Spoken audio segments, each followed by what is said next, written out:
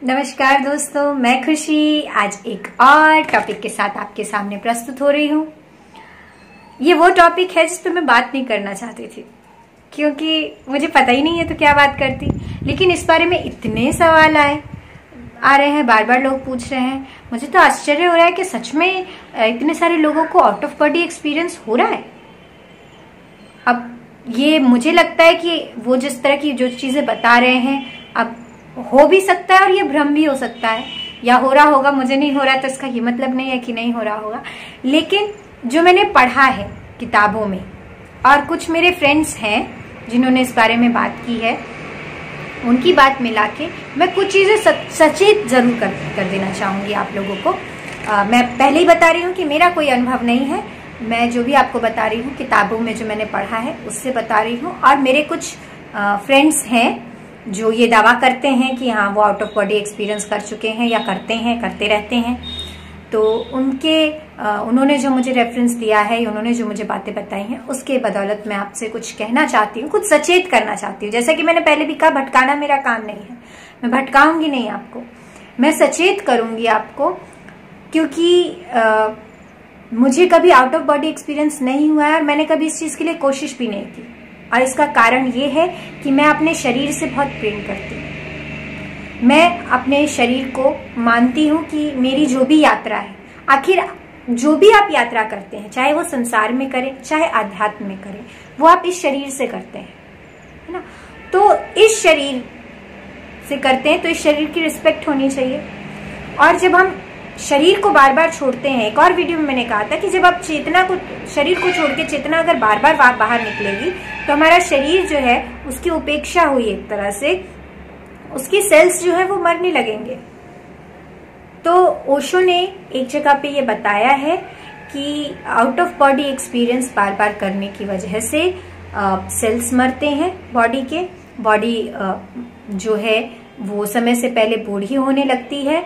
और बहुत सारी बीमारियाँ रोग आपके शरीर को पकड़ सकते हैं क्योंकि रोग प्रतिरोधक क्षमता कम होने लगती है। और इस चीज़ को मैं जस्टिफाई कर पाई हूँ या फिर आ, समझ पाई हूँ। मेरी एक फ्रेंड के एक्सपीरियंस से आप आ, जो ये बताती हैं कि उन्होंने कई बार आउट ऑफ़ बॉडी एक्सपीरियंसेस किए हैं आ, वो जब ध्यान करती हैं तो कई बार ऐसा होता है कि उनका जो आत्मा है वो शरीर छोड़ देती है।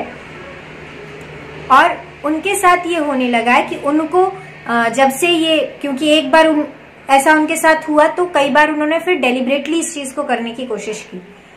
और उससे क्या हुआ कि उनको बीमारियाँ जो पहले नहीं थी बहुत सारी बीमारियाँ उनको पेट की बीमारी और बहुत सारी जो प्राइवेट प्रॉब्लम्स होती है प्राइवेट बीमारियाँ होती हैं, वो सब बीमारियाँ भी उनको पकड़ने लगी।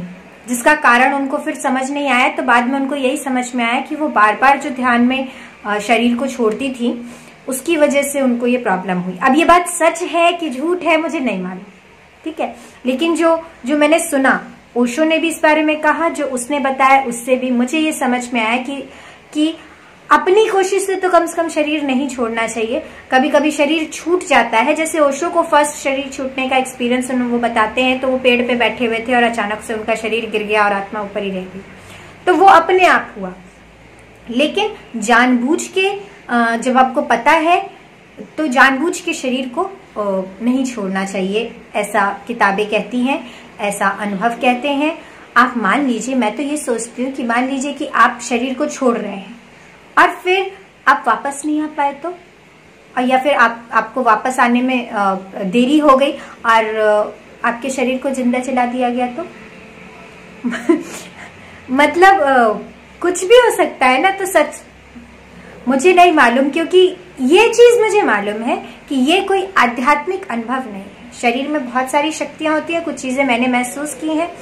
तो मुझे मैं इस चीज़ से ये जानती हूँ कि शरीर में शक्तियाँ होती हैं बहुत सारी चीज़ें बहुत सारी चीज़ें घट सकती हैं बहुत सारी चीज़ें होती हैं बहुत सारी पावर्स आती हैं लेकिन वो कोई भी पावर आध्यात्मिक होने का निशानी नहीं है वो कोई भी पावर आपको आपके परमानंद से मिलने में मदद नहीं कर सकती है।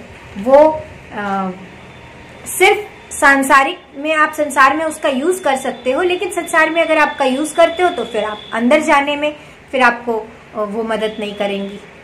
ठीक है तो अगर आप अंदर जाना चाहते हो तो ये सब जो छोटी छोटी पावर्स आती हैं, इनका अंदर ही इस्तेमाल करना चाहिए, इसको बाहर के लिए नहीं करना चाहिए।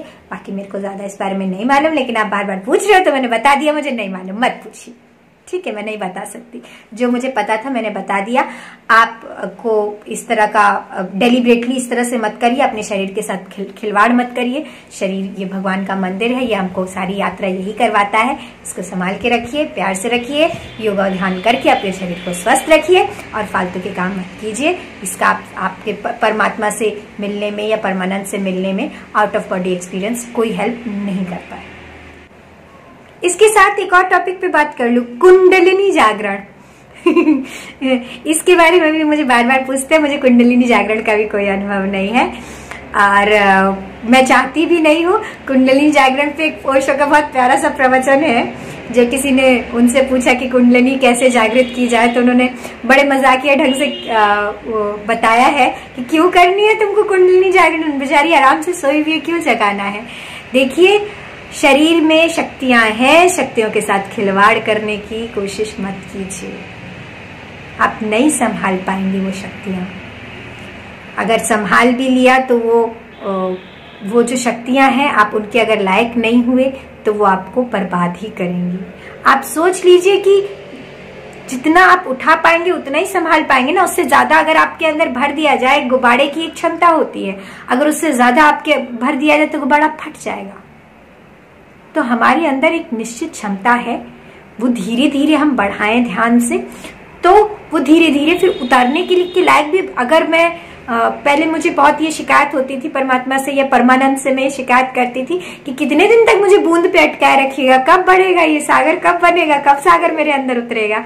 तो अब मुझे ये जवाब मिलता है या मुझे ये समझ में आता है कि जब क्षमता हो जाएगी तब उतरेगा। बूंद है जिस जिस दिन सागर संभालने लायक हो जाओगे, उस दिन सागर उतर आएगा। तो बूंद है, अभी बूंद से संतुष्टि करो, उस बूंद को धीरे धीरे धीरे धीरे थोड़ा थोड़ा बढ़ाओ। अगर एकदम से सागर उतर गया तो डूब जाओगी। दिखाई भी देगा तुमको, समझ भी आएगा कुछ। तो उसके संभालने के लायक भी तो होना चाहिए ना। परमात्मा बहुत दयालु है। वो वो वो आपको आप बेहिसाब चलते हो, वो बेहिसाब नहीं चलता है। वो उतना ही देगा जितने जिस आप लायक हो। पहले अपने आप को लायक बनाओ। ओशो ने भी बार बार कहा है कि पात्रता लेकर आओ ना, वो तो उतरने के लिए तैयार है।